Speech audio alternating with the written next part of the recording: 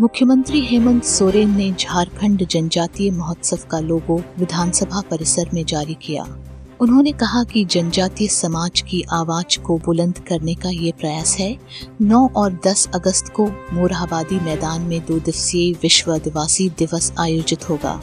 कार्यक्रम आयोजित होने का पहला पड़ाव आज है। आज उसी कार्यक्रम का प्रतीक चिन्ह और लोगो जारी किया। जनजातीय समाज के 10 तारीख के कार्यक्रम का लोगो हमने जारी किया।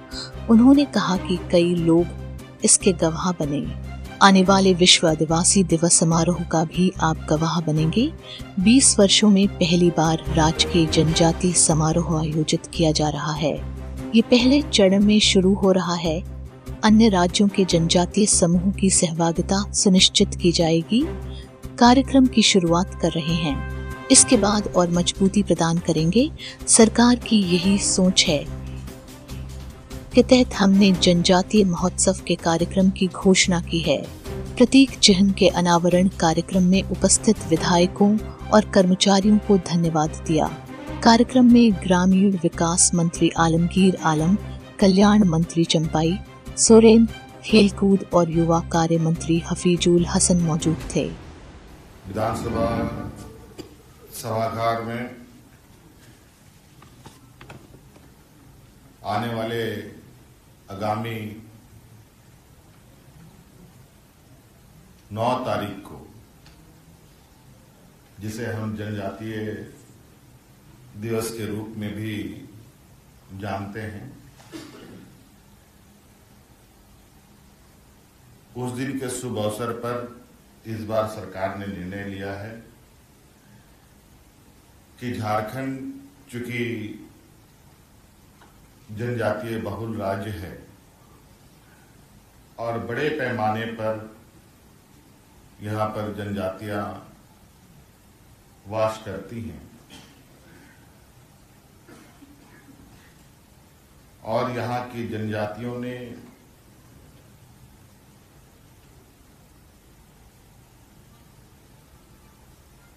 अपना एक अलग पहचान, अलग इतिहास में नाम दर्ज कराया है। इस राज्य के जनजातीय समाज के लोगों ने राज्य के कोने कोने से में ये बसे हुए हैं और सदियों से ये समाज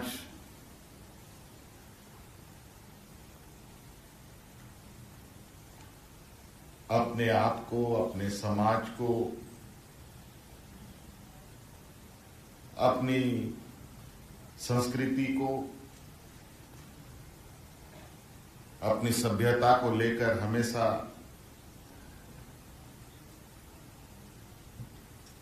हमेशा के कोई ना कोई संघर्ष करता रहा। वैसे इस राज्य को हम वीरभूमि के रूप से भी जानते हैं। जहाँ भगवान बिरसा मुंडा, सिद्धू कानू तिलका मांझी, चाँद भैरव जैसे लोग, वीर बुद्धू भगत तेलंगाना खड़िया शेख भिकारी जैसे लोग इस धरती पर जन्मे। और इस राज्य के लिए अपनी कुर्बानियाँ भी दी।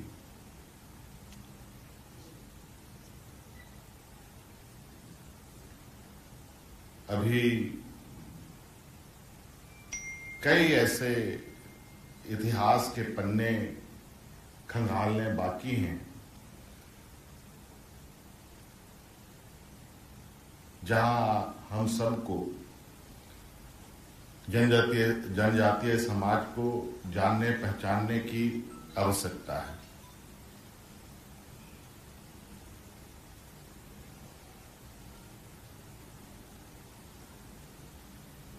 और इसी समूह को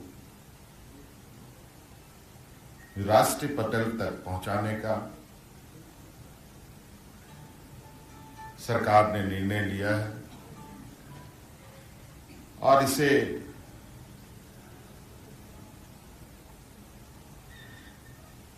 एक भाव्य कार्यक्रम के माध्यम से जनजातीय समाज के आवाज़ को बुलंद करने का एक प्रयास सरकार ने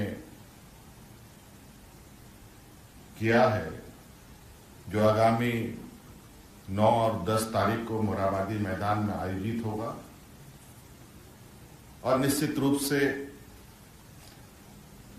कार्यक्रम आयोजित होने का पहला पड़ाव उसका लोगो होता है, उसका प्रतीक चिन्ह होता है। उसको लेकर आज हम लोगों ने जनजातीय समाज के लिए होने वाले 9 और 10 तारीख के कार्यक्रम का आज प्रतीक चिन्ह का अनावरण किया है। आप सब लोग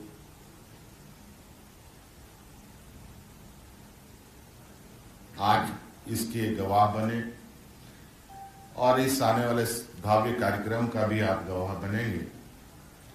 और मुझे उम्मीद है कि 20 वर्षों में पहली बार झारखंड में राज्य के जनजातीय समूह और ये पहले चरण में शुरुआत की गई इस कार्यक्रम में और भी राज्यों के जनजातीय समूह का भी जमावड़ा आपको देखने को मिलेगा। और हमारा प्रयास है इस कार्यक्रम का शुरुआत हम लोग इस बार 9 तारीख से तो कर रहे हैं, लेकिन इसके बाद इसको और मजबूती प्रदान करने का सरकार का सोच है। उसके तहत आज हमने इस जनजातीय महोत्सव मनाने का निर्णय लिया है। आज इस